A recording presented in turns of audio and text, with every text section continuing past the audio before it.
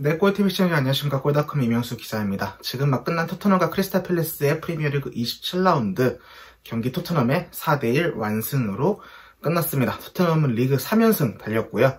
8위까지 처해있던 수리는 6위까지 올랐습니다. 그래서 4위 첼시와의 승점 차가 2점밖에 나지 않기 때문에 정말 잘하면은 진 챔피언스리그 진출권에도 다시 도전해 볼 수 있는 그런 좀 희망이 챙긴 승리였다라고 할 수 있겠습니다.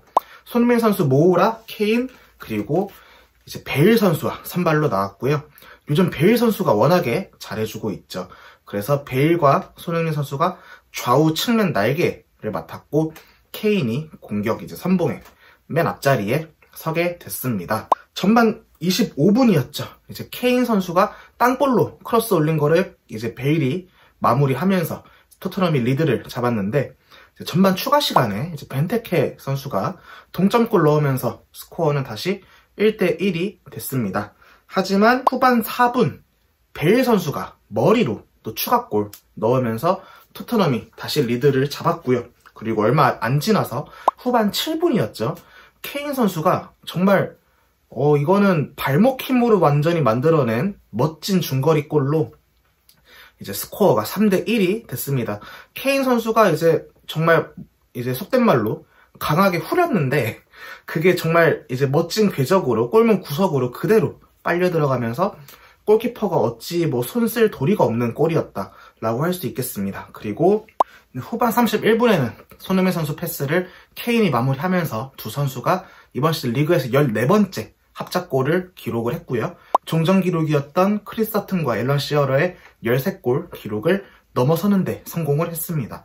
그리고 경기는 토트넘의 4대1 완승으로 끝났고 토트넘이 이제 리그 3연승 달리게 됐습니다. 손흥민 선수 이번 시즌 이제 리그 9호 도움이었고요.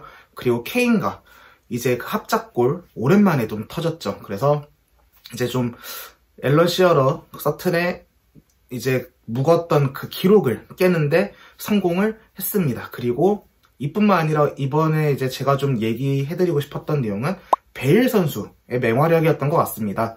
확실히 이제 반대편에서 베일이 잘해주다 보니까 손흥민 선수와 케인으로 수비가 집중됐던 그 현상들이 좀 분산되는 모습이었고 서로에게 시너지 효과가 나는 모습이었거든요. 그리고 베일도 자신에게 주어진 기회를 놓치지 않고 득점으로 마무리하면서 요즘 정말 물오른 기량을 보여주고 있습니다. 손흥민 선수도 뭐 비록 득점을 하지 못했지만 그래도 어시스트를 함으로써 공격 포인트 기록을 하는데 성공했다는 게 오늘 경기에 좀 뭐랄까 의의라고 할 수 있을 것 같습니다. 토트넘은 주중에 디나모 자그레브 상대로 유로파리그 홈 경기 치르고요.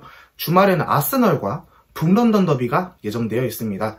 또 아스널 상대로 손흥민 선수가 지난 경기에서 멋진 또 중거리골을 넣었던 기억이 있기 때문에 또 아스널 상대로 이번에는 득점포를 가동할 수 또 있을지 한번 좀 주목이 되는 부분인 것 같고요.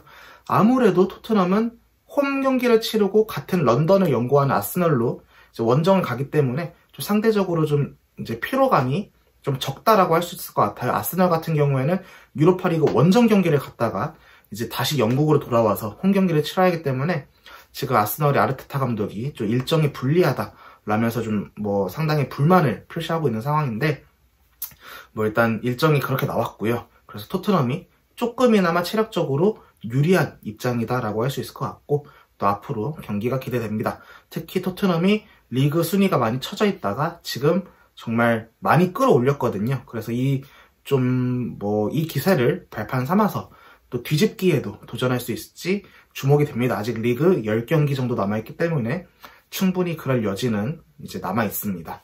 네, 오늘 저희가 준비한 건 여기까지고요. 저희는 또 다음에 찾아뵙도록 하겠습니다. 감사합니다.